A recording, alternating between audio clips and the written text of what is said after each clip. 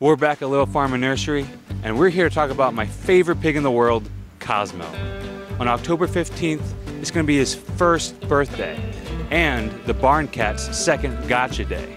Also on the 15th, they're collecting items for the Queen Anne's County Farm Animal Shelter.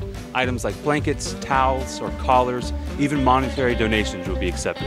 And on October 22nd, they're having their first Fall Fun Festival from 10 to 4. It's free admission.